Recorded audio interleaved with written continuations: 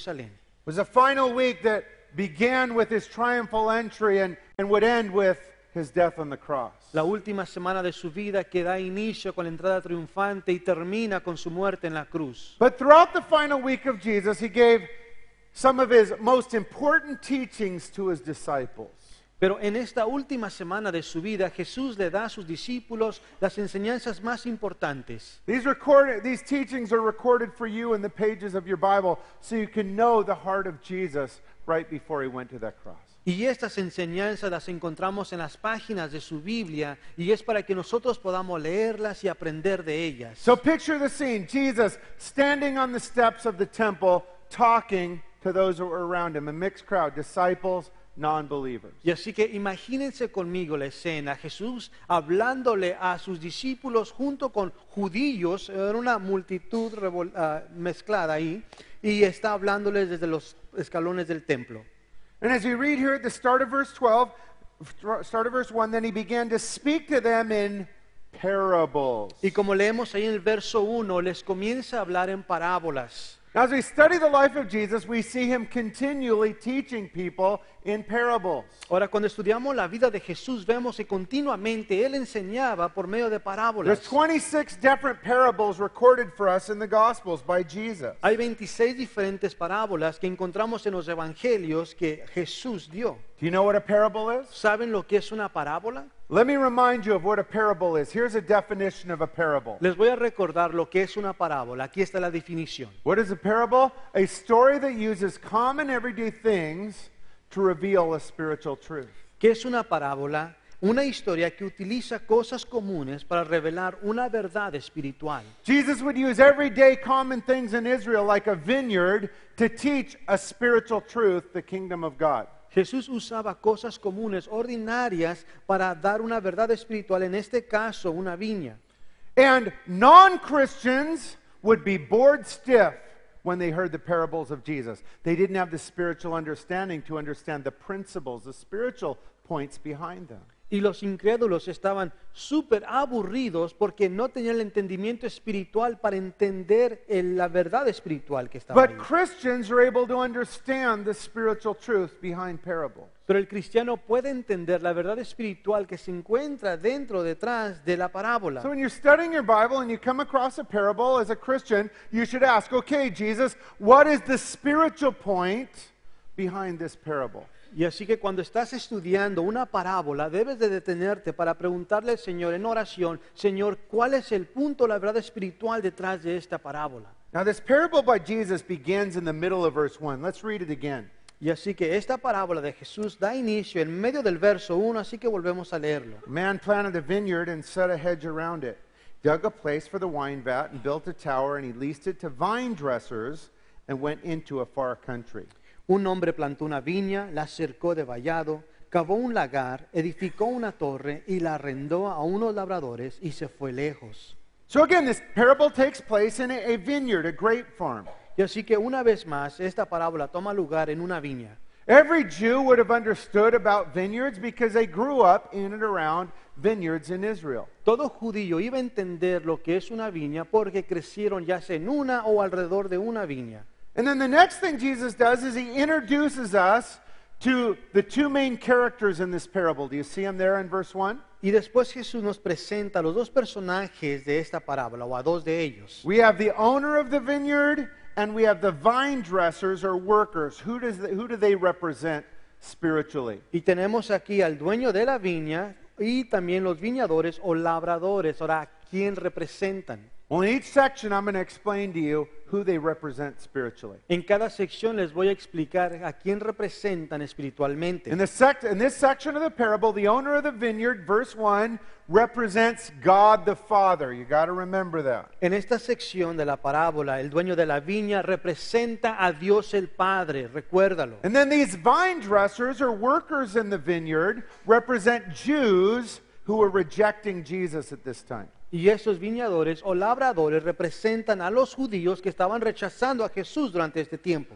So let's first think about this owner of the vineyard. What does the owner of the vineyard do here? Y así que primero vamos a pensar en el dueño de la viña. ¿Qué es lo que hace el dueño de la viña? He built the vineyard, he planted the vineyard, he provided all of the finance and re- uh, finances and resources needed to build this vineyard because it was his. He owned it. Él construyó la viña, él fue quien plantó, él fue que puso todos los recursos para esta viña porque le pertenece a él. The owner did all the work and then he presented the completed vineyard for these workers, these vine dressers, to work on it. Así que el dueño hizo todo el trabajo y después dio o rentó esta viña a los labradores.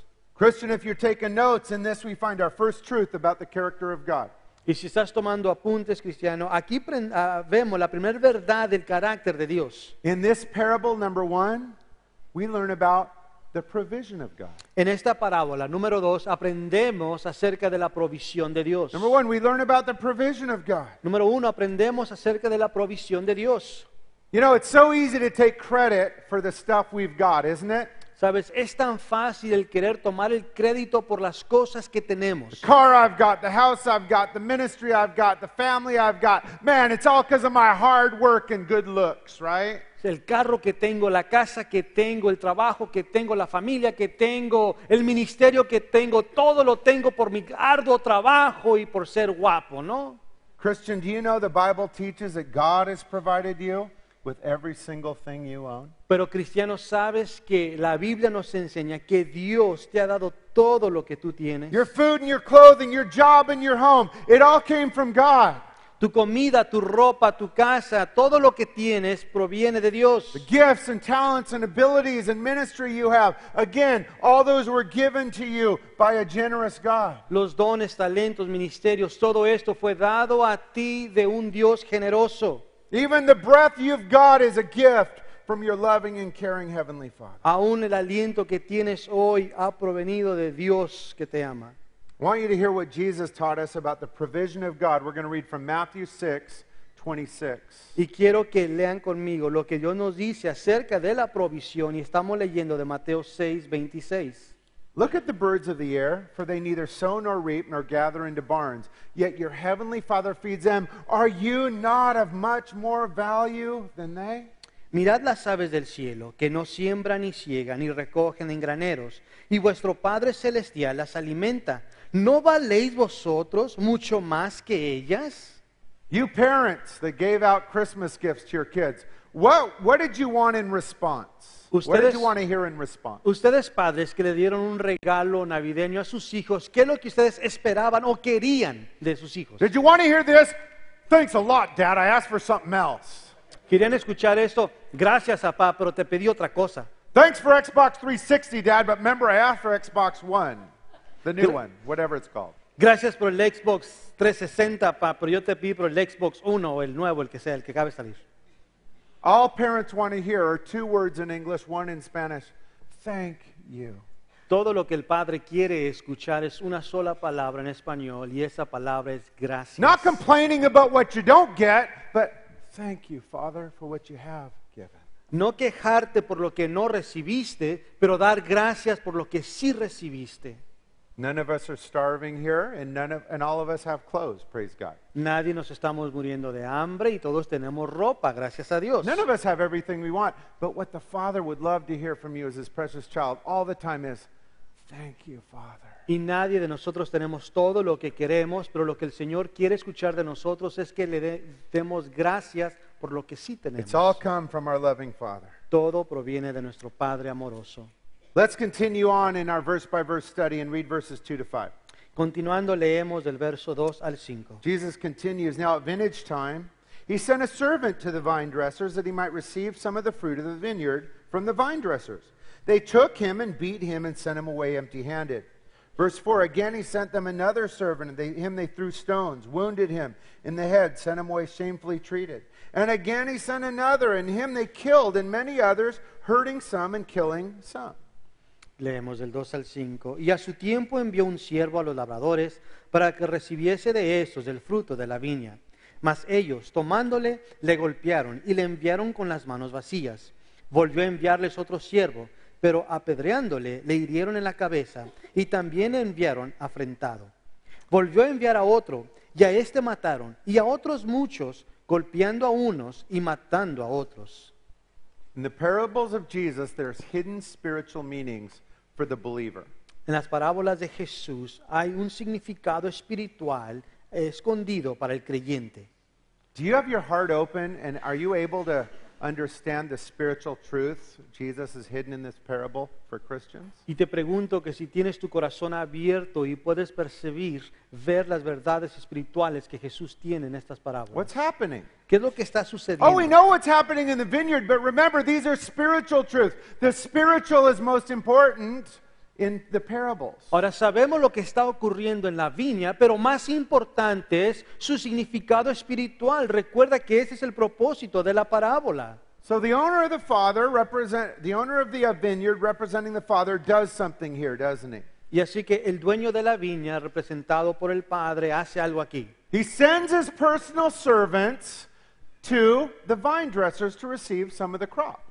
Y envía a sus siervos personales con los labradores para recibir fruto. But did you notice how the vine dressers treated these servants sent by God? Pero te diste cuenta cómo fue que esos labradores trataron a los siervos enviados por Dios. Look at how they treated them. Look at verse 5. Vean cómo los trataron. El verso 5. He, the, the owner, sent another, and him they killed, and many others, hurting some and killing some.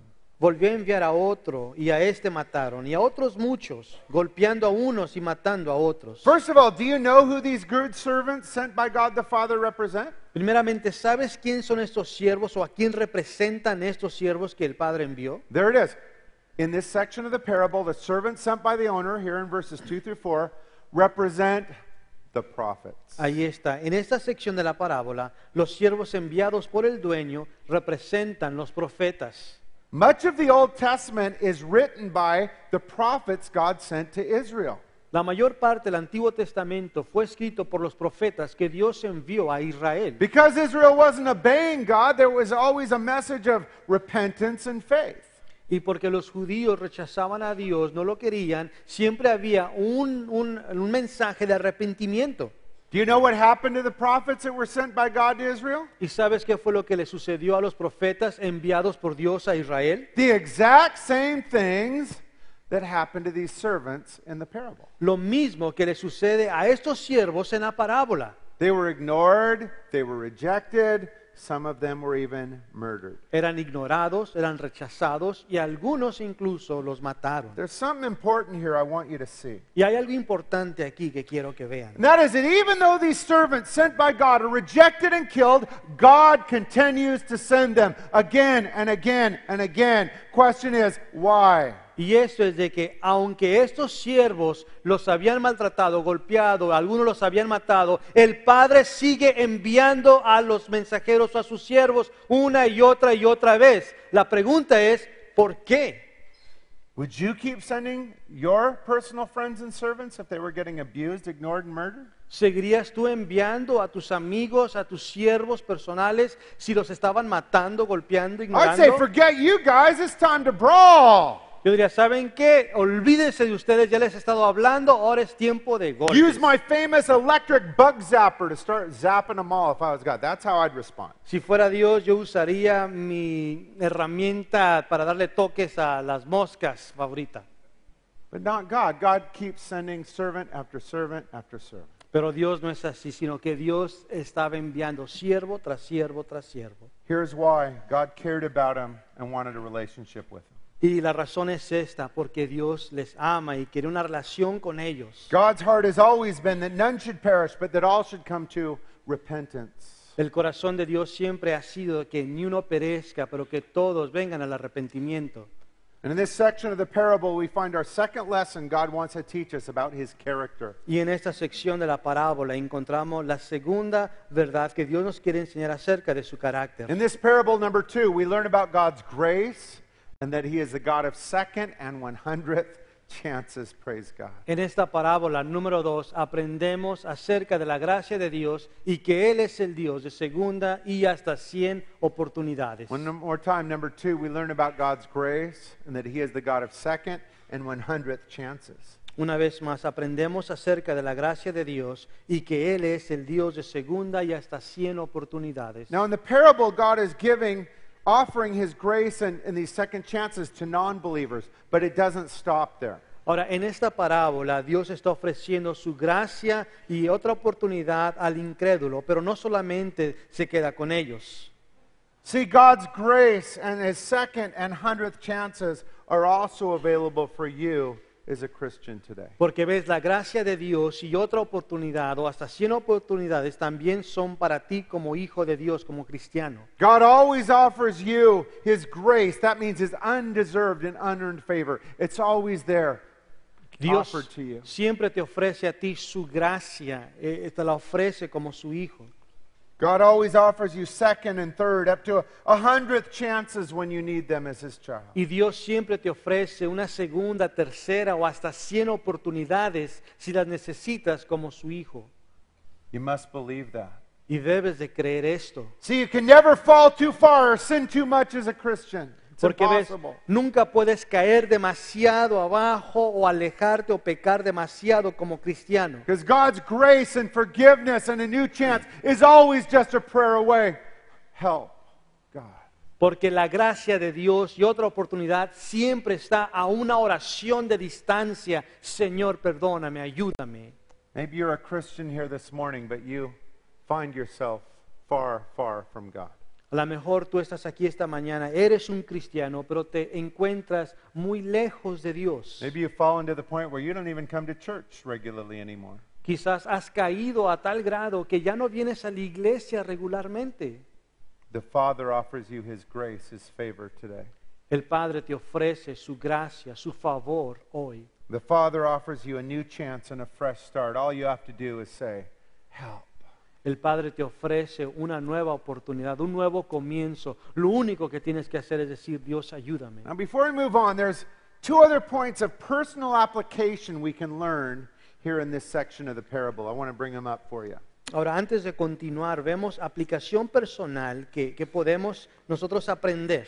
First off, this portion of the parable reminds us that God holds us accountable for the things He's given us. Primeramente, en esta sección de la parábola podemos aprender que Dios nos pide cuentas de lo que Él nos ha dado. God has provided each one of us as His kids with resources, talents, and treasures. Dios nos ha dado a cada uno de nosotros como hijos de Él, nos ha dado talento, nos ha dado dones. And God is going to require you to give account of how faithful you've been. If you just hoarded it all for yourself, or if you used it generously for God's kingdom and the people. Y Dios te va a pedir que rindas cuentas de lo que has hecho con lo que Él te ha dado, si solo te has quedado con ello para ti o si lo has utilizado para el avance del reino. God gave them the vineyard, and there was a time when He said, Okay, it is time where I take some of my crop. Again, God will hold us accountable with the things. We need to be faithful with it and generous. Dios les dio la viña y después vino un tiempo donde Él pidió de ellos fruto, igual con nosotros. Dios el Padre nos ha dado diferentes recursos, llegará el tiempo cuando tenemos que rendir cuentas. Secondly, we learn here of the difficulty of our calling as Christians. Y lo segundo que aprendemos aquí es lo difícil que es nuestro llamado como cristianos. We're the servants of this parable. Nosotros somos los siervos de esta parábola. We are the ones that are now sent by God the Father to share with the world.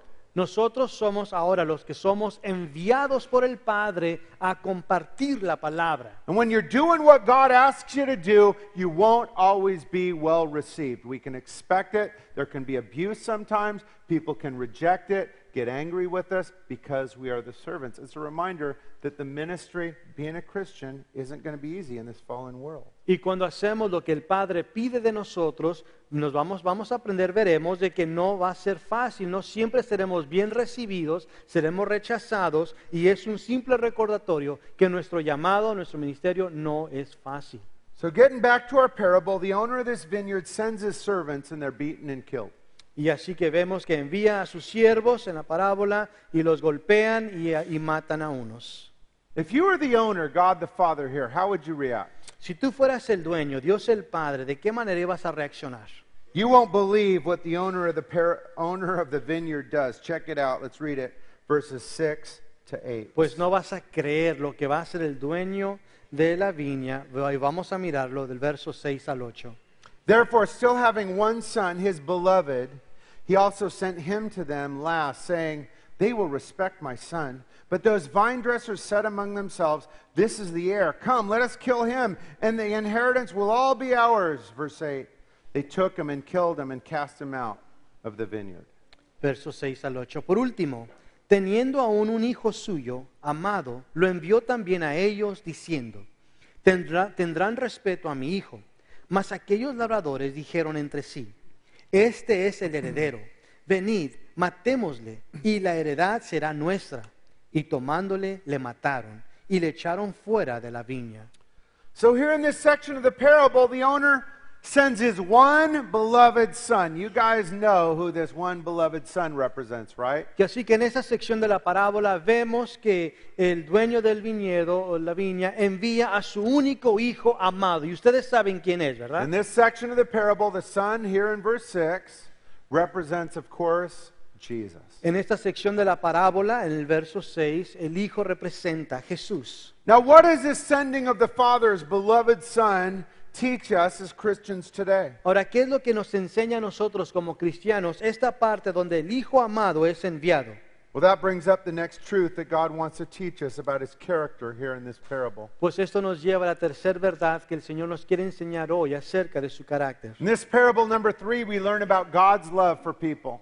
En esta parábola número 3 aprendemos sobre el amor de Dios para la gente. One more time, in this parable number three, we learn about God's love for people. Una vez más, en esta parábola número 3 aprendemos sobre el amor de Dios por la gente. The only reason Jesus came was because of his love. La única razón por cual Jesús vino aquí a la tierra es por su amor. Jesus loves unbelievers, like are in this parable, and Jesus has a special love for his own kids, you as a Christian today. Jesús ama al incrédulo como los, los que están los labradores de esta parábola, al igual que a sus hijos con un amor especial. I want you to hear what the Bible teaches us about God's love. We're going to read uh, 1 John 4:10. Quiero que escuchen lo que la Biblia nos enseña acerca de este amor y leemos de primera de Juan 4:10. And this is love. Not that we loved God, but that He loved us and sent His Son, there it is, to be the propitiation for our sins. En esto consiste el amor, no en que nosotros hayamos amado a Dios, sino en que Él nos amó a nosotros y envió a su Hijo en propiciación por nuestros pecados. The greatest and most famous verse of all, John 3:16, spoken by Jesus, is all about God's love. El verso más conocido de todos nos habla del amor de Dios Tells us why the Son came. y nos dice por qué vino el Hijo. For God so loved the world that he gave his only begotten Son, that whoever believes in him should not perish but have everlasting life. Juan 3:16, porque de tal manera amó Dios al mundo, que ha dado a su Hijo unigénito para que todo aquel que en él cree no se pierda, mas tenga vida eterna. God the lo- Father loved you so much, he offered up his most precious possession, his Son Jesus, so that he could save you and have a relationship with you. Dios el Padre te ama tanto que dio lo que más valoraba, lo más, que más apreciaba, su único Hijo. So, getting back to the parable, did you notice how this beloved Son was treated by those workers in the vineyard? Y regresando a la parábola, ¿te dices cuenta cómo fue que recibieron al Hijo los labradores? We, we find it in verse 8. Let's check it out again. Lo vemos en verso 8. So they took him and killed him and cast him out of the vineyard. Y tomándole le mataron y le echaron fuera de la viña. And did you notice their thought process?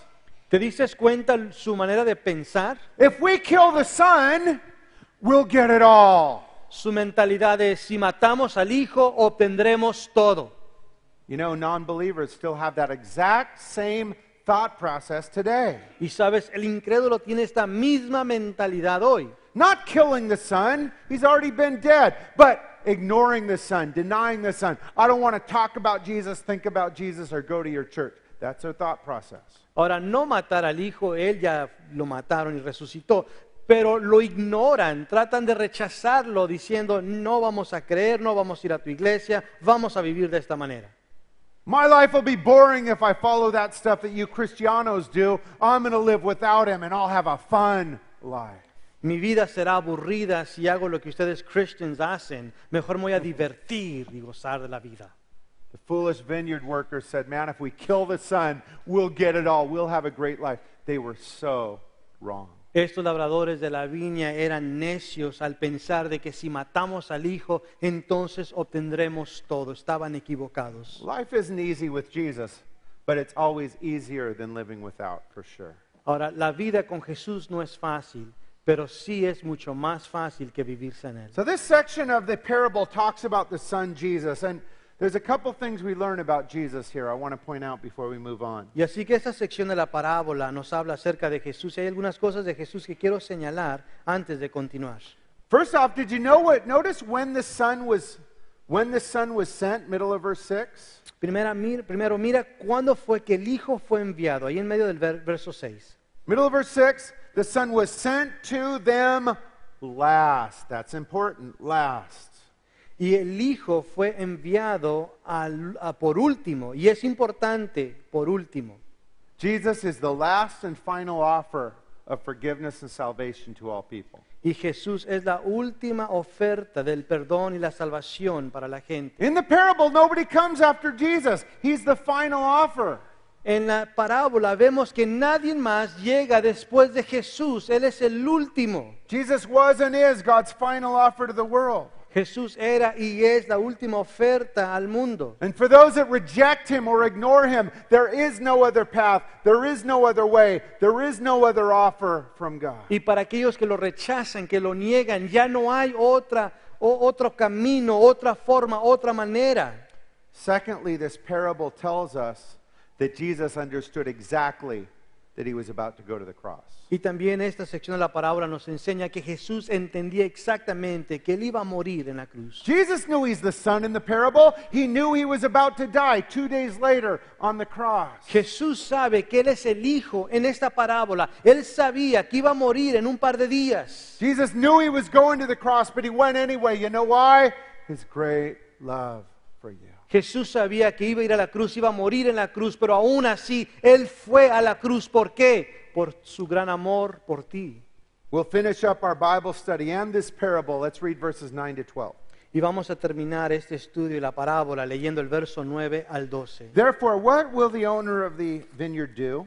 He will come and destroy the vine dressers and give the vineyard to others. Have you not even read this scripture? The stone which the builders rejected has become the chief cornerstone. This was the Lord's doing and is marvelous in our eyes. And they sought to lay hands on him, but feared the multitude, for they knew he had spoken the parable against them. So they left him and they went away. ¿Qué pues hará el Señor de la viña? Vendrá y destruirá a los labradores y dará su viña a otros. Ni aun esta escritura habéis leído. La piedra que desecharon los edificadores ha venido a ser cabeza del ángulo. El Señor ha hecho esto, y es cosa maravillosa a nuestros ojos. Y procuraban prenderle, porque entendían que decía contra ellos aquella parábola, pero, temían a la multitud y dejándole se fueron.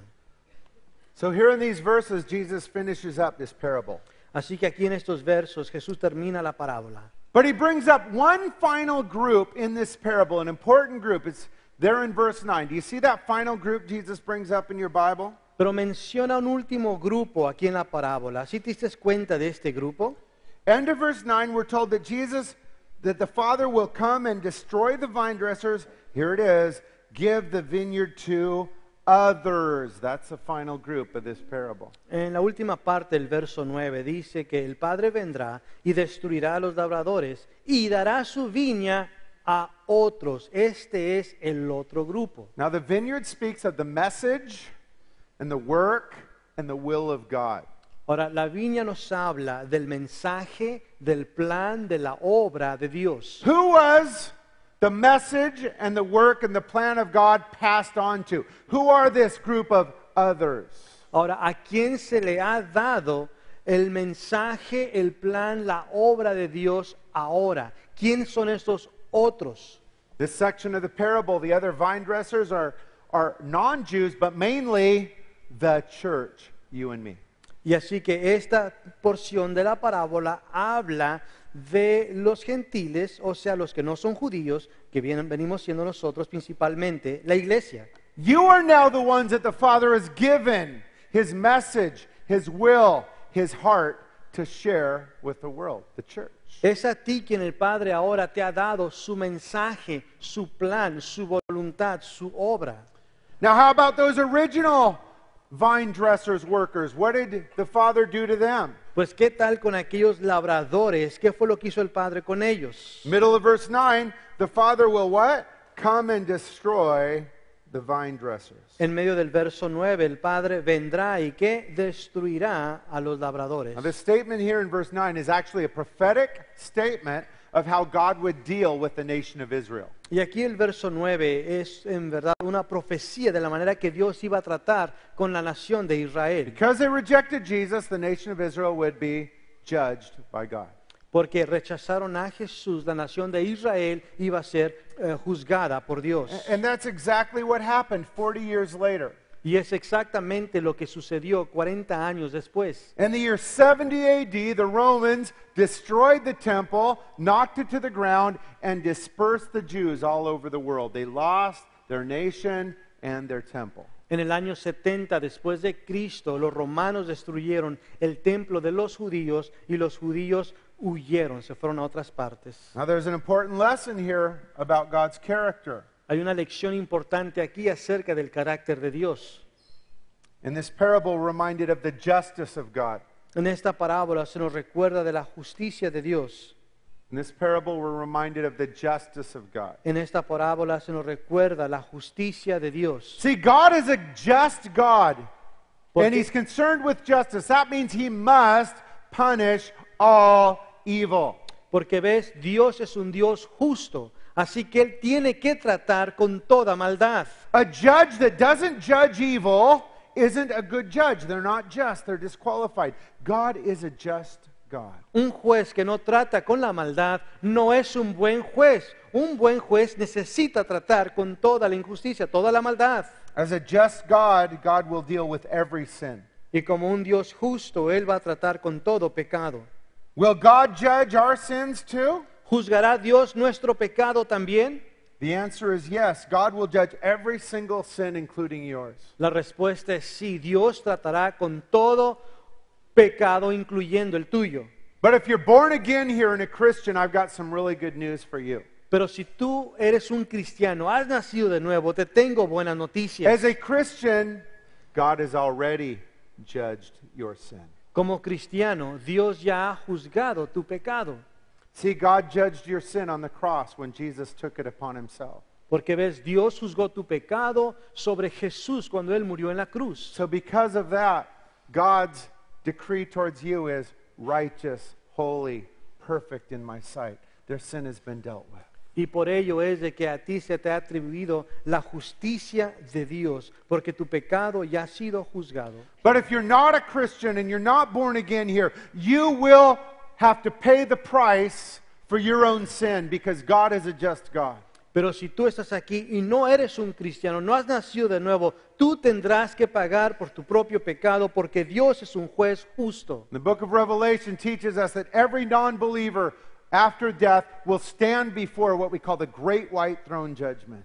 El libro de Apocalipsis nos enseña que todo incrédulo va a tener que compadecer ante el gran trono blanco, where God will say, Depart from me, I never knew you. We didn't have a personal relationship. You weren't born again. You didn't follow Jesus. donde Dios les dirá, apártate de mí, no te conozco, porque no tenían una relación personal con Él.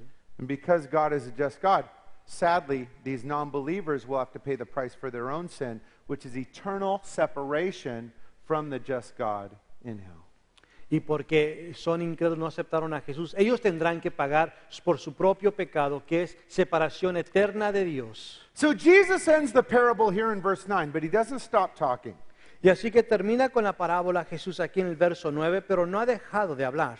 Here in verse 10, Jesus quotes the most quoted Old Testament verse in the New Testament. Let's read it again, verse 10. Y aquí en el verso 10 Jesús cita el verso más citado del Nuevo Testamento. Lo volvemos a leer. This is important because Jesus is talking about himself here. Y es importante porque Jesús habla de sí mismo aquí. Verse 10 Have you not even read this scripture?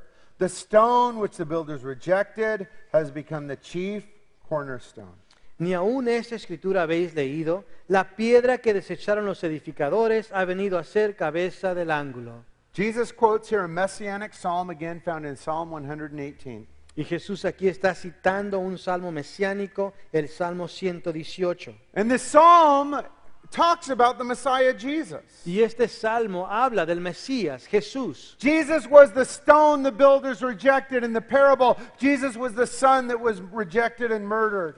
Jesús era esa piedra de ángulo que fue rechazada y en la parábola Jesús el Hijo que fue rechazado. But the good news is that Jesus didn't stay rejected or dead.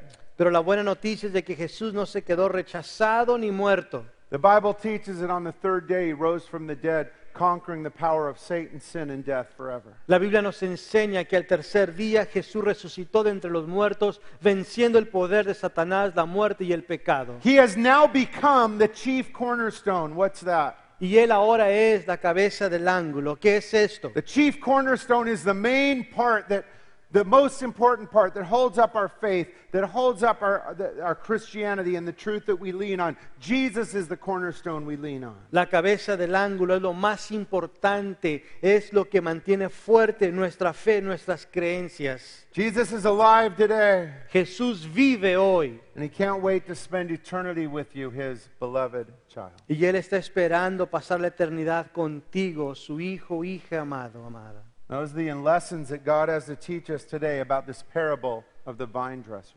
Y esas son las lecciones que nos tiene que enseñar el Señor en esta mañana con la parábola de la viña. Some good news. Buena noticia. Amén.